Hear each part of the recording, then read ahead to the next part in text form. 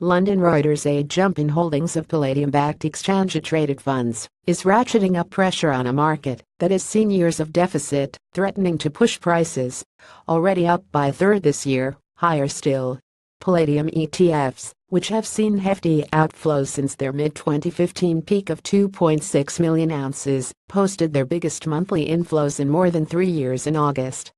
Holdings have risen again this month to hit their highest since January, Graphic for Palladium ETF holdings rise in August Riat.rs2's Chems Palladium prices do not always move in line with ETF holdings, as this year's action so far shows, and after huge outflows in January, ETF demand for the year as a whole is still negative.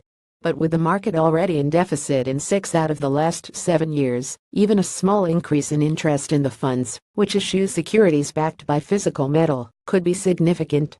Last year, when ETF investment was going down, the deficit was being filled by investors selling, Macquarie analyst Matthew Turner said. If it's a deficit market and investors aren't selling, and there aren't other stocks that can easily come to market, the only way out is that the price goes up. We don't even need to see massive investor buying, he said. We just need to see no investor selling. Palladium has hit a series of 16-year highs in recent months, peaking at $1,001 an ounce in early September. Short-term tightness in the lending market for platinum ingot, which pushed up lease rates, sparked an initial move higher in June, Graphic for Palladium.S $3 Mo FX forward swap versus Palladium price Riat.rs2 See the rally has since pushed Palladium to within $25 of parity with its rarer sister metal platinum, the narrowest spread between the two since late 2001. While its spikes higher have largely been speculative, analysts say net speculative length in NYMEX palladium contracts hit a three-year high this month. Palladium's broader move has been supported by underlying tightness in the market.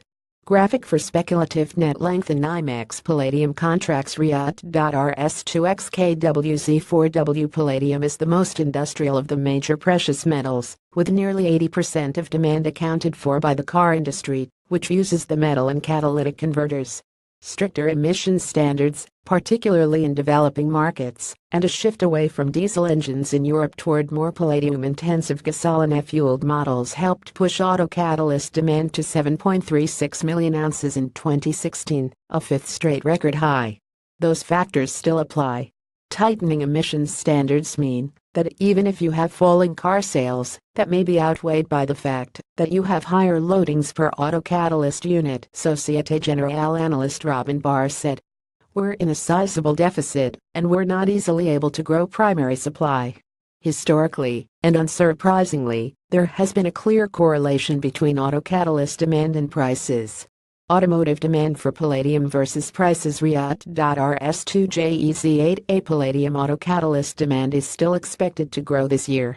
GFMS estimates that palladium will be a deficit of some 1.4 million ounces this year and next.